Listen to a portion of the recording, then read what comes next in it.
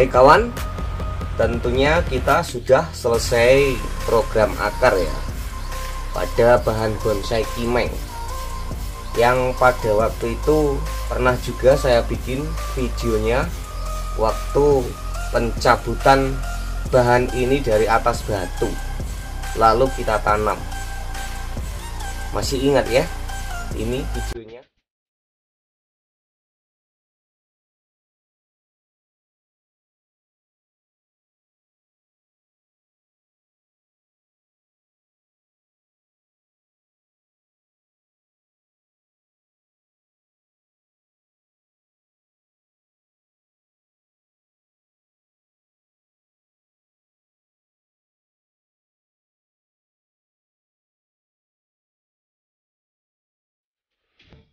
dan sekarang penampilannya seperti ini.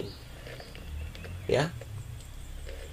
Nah ini nanti saya akan kembali melakukan program cabang ya.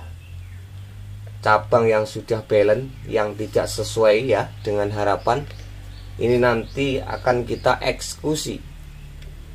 Baik yang baru saja menemukan channelnya Gunas Vlog dalam berbudidaya tanaman bonsai ini saya ucapkan selamat bergabung. Mudah-mudahan bermanfaat pada anda khususnya pelaku pembonsai pemula. Seperti itu. Iki wis coklat nih gini Peh.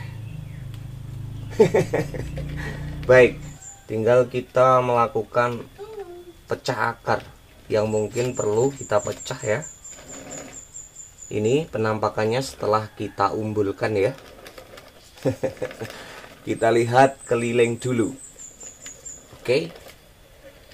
Nah seperti ini. Jadi ini untuk akar yang terlalu besar kemudian untuk menyabangnya ini kurang bagus ini kita pecah saja dulu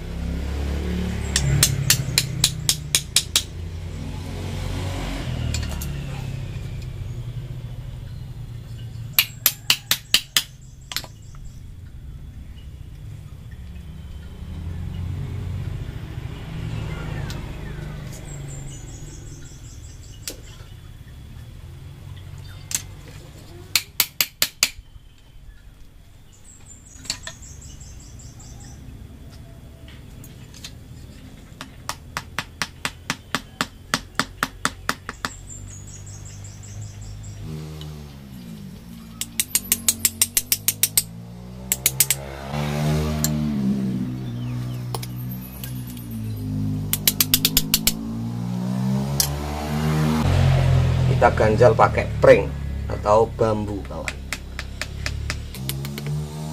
nah, seperti ini. Nah ini juga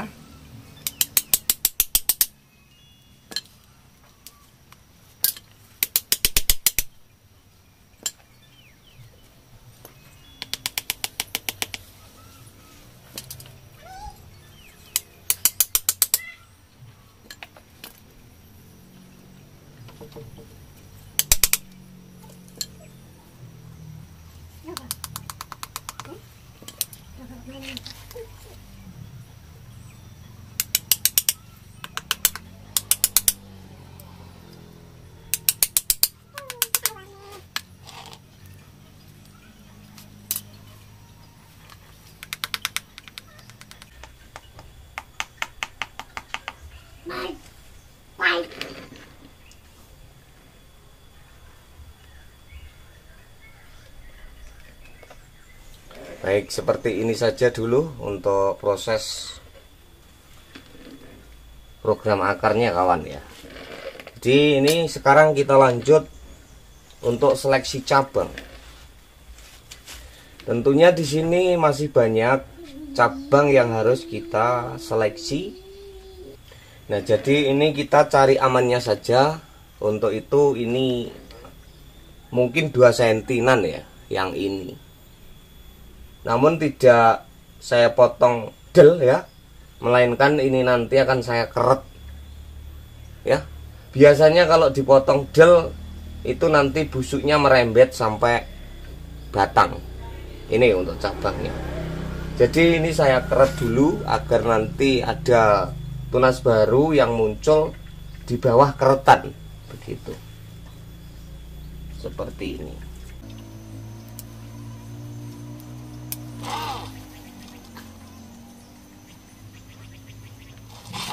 ini tinggal kita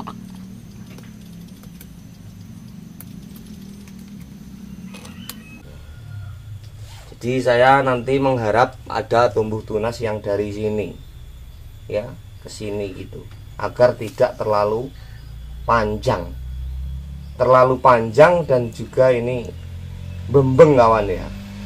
Jadi nanti kita ambil dari sini agar kesannya itu bisa proporsi ini cabangnya kita kurangi kawan.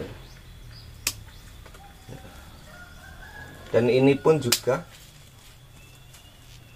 ini juga sudah terlalu besar ya. Sampai sini ini bembeng jadi ini juga harus kita pangkas di sini.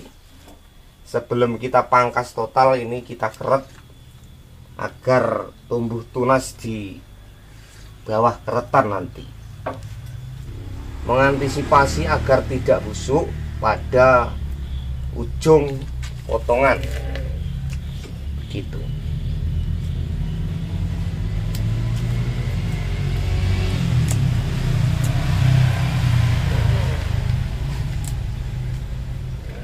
ini juga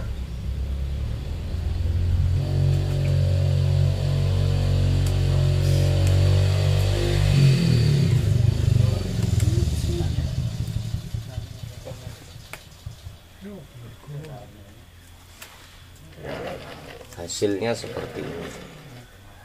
Ya. Terlihat ya. Ini. Ini sudah saya keret-keret.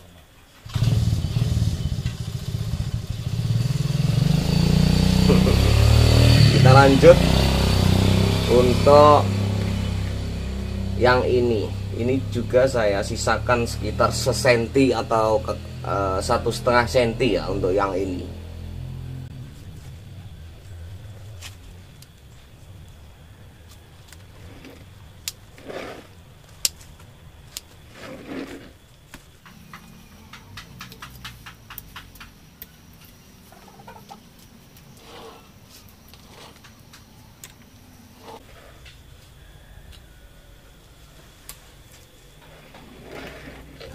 seperti itu ini juga.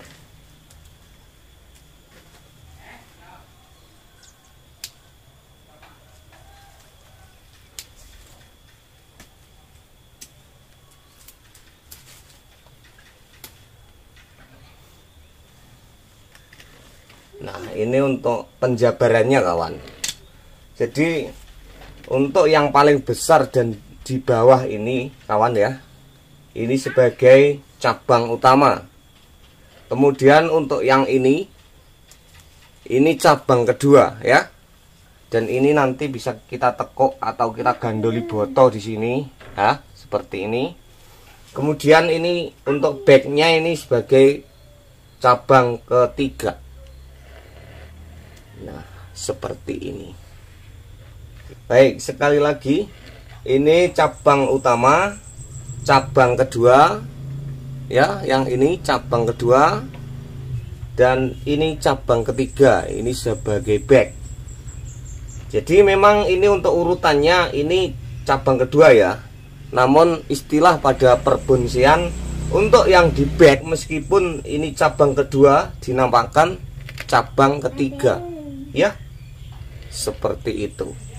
Nah jadi ini juga kita lakukan wiring juga ini nanti kita arahkan ya untuk terusan dari back tersebut. Iki wis coklat barang. Ini. Sekarang kita kurangi yang ini agar tidak terlalu mengganggu ya. Ini kita kurangi seperti itu. Nah untuk yang ini kawan ini cabang yang ini cabang yang ini terlihat dari sini itu kan tidak terlihat dari popornya sini ya. Mestinya dari dari sini terlihat ini untuk ujung popornya seperti ini loh ya. Namun inilah yang dinamakan muncul tiba-tiba. Ini tiba-tiba ada. Ini dari mana ini?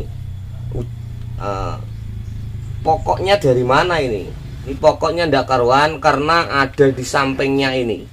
Samping agak agak di bawah ya. Nah jadi ini nanti juga kita seleksi. Kita potong saja ya agar nanti ada tumbuh tunas yang di sini. Agar terlihat dari depan sini kawan. Oke sekarang kita potong saja. Nah seperti itu dan nanti ini untuk terusan mahkota. Kalau kita ambil yang ini kawan ini terlalu panjang ya ini untuk spasinya terlalu panjang. Kalau kita ngambil yang ini ya. Jadi ini harusnya kita potong saja.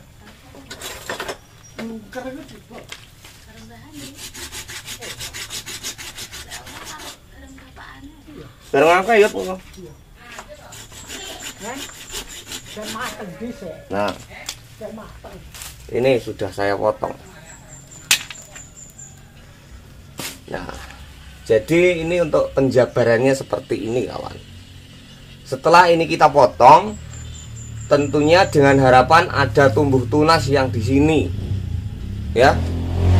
Dan nanti ini ada pasti ada tunas ada dua tunas yang jelas atau bisa jadi empat. Kita ambil salah satu untuk terusan mahkotanya nanti ya. Terusan mahkota ke sini gitu. Dan nanti yang satunya lagi kita bikin cabang yang ke sini ya. Seperti itu. Nah ini untuk antisipasi agar tidak busuk merembet sampai sini jadi ini kita cangkok angin seperti ini. Sekarang kita coba bikin gerakan. Kita bikin gerakan yang di bawah ini kawan. Di bawah apa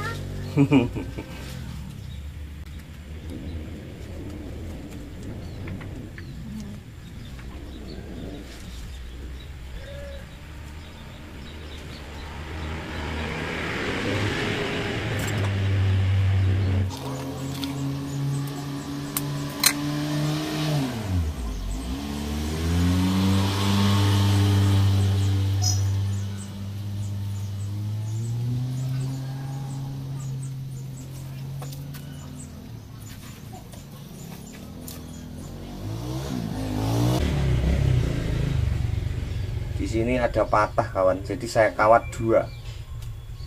Agar nanti pulih ya